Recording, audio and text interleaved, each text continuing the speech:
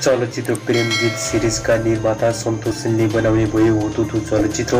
रहने भयो हरिवंशदेखि पल शाह प्रदीप खड्का एकसाथ। यसबारेमा तपाईँहरूलाई विशेष जानकारी गराउनेछु। पुरा भिडियोलाई स्किप नगरिकन हेर्नुहोला र मनपर्छ भने एउटा लाइक गर्नुहोला। यस्तै जानकारीमूलक भिडियोहरू नछुटाइकन हेरेर चाहनुहुन्छ भने गजबको टिभी युट्युब च्यानललाई सब्सक्राइब गरी नजिकै बेल आइकनलाई क्लिक गर्न भने नभुल्नुहोला।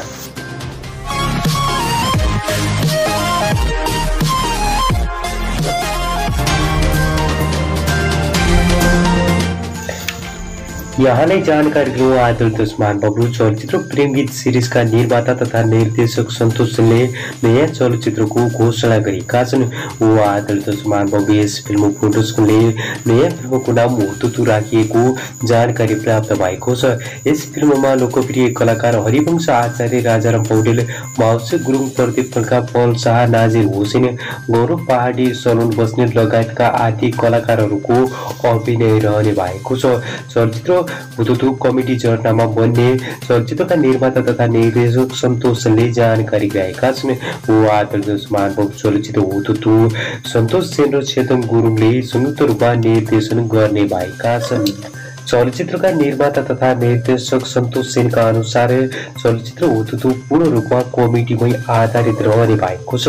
हो आदर्श महानुभवले यस फिल्मका लागि मुख्य अभिनेत्रीको छनौट कार्य भइरहेको चलचित्रका निर्माता सन्तोष सेनले जानकारी गराएका छन्।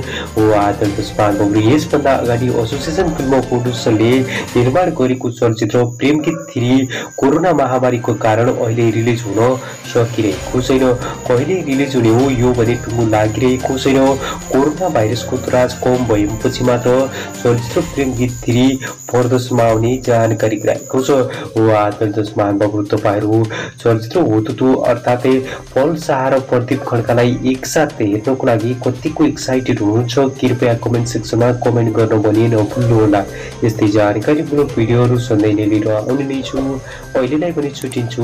नमस्कार।